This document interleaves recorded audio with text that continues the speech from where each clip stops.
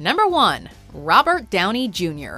It may seem crazy for younger viewers to imagine today's Tony Stark as an impossibly obnoxious, annoying, and overacting ham, but that is exactly the niche that Robert Downey Jr. comfortably filled throughout much of the 1980s. Good morning, Skip. Merry Christmas. Yeah, big deal. Robert was only on Saturday Night Live from 1985 to 1986, but it was arguably one of the show's worst seasons since its disastrous 1980 run in terms of ratings and reception. I know why whales beach themselves. Spider Man told me!